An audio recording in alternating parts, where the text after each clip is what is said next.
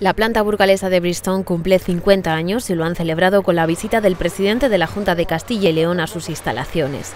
Allí Juan Vicente Herrera ha querido destacar el valor de la estabilidad y la confianza que nuestra comunidad ofrece al sector empresarial. Un factor que depende en buena parte de nosotros.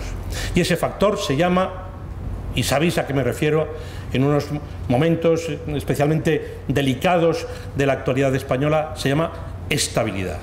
Ese factor se llama eh, seguridad. Ese factor se llama respeto a las reglas del juego. Ese factor se llama diálogo social fructífero.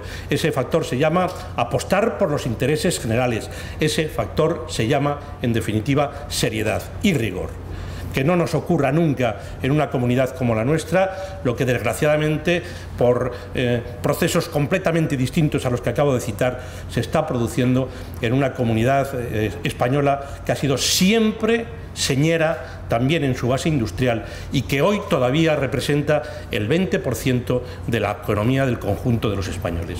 Fijaros lo que nos estamos jugando en este momento con las decisiones o por mejor decir con las irresponsabilidades que algunos que se han instalado desde hace ya meses en la ilegalidad algunos que están intentando monopolizar algo tan complicado como son los sentimientos. Y algunos que no quieren mm, reconocer la contumaz realidad de empresas que no se deslocalizan por capricho, sino que van buscando la seguridad de sus trabajadores, la seguridad de sus proveedores, la seguridad de sus clientes y su propia seguridad, están tomando hoy decisiones que son justamente las contrarias a lo que Burgos como ejemplo de Castilla y León, hizo ahora hace 50 años, que ha venido haciendo durante estos 50 y que quiere hoy aquí ante vosotros reiterar. La multinacional da trabajo directo a 1.340 personas en la ciudad y además ha anunciado una nueva inversión de 70 millones de euros para la sede burgalesa.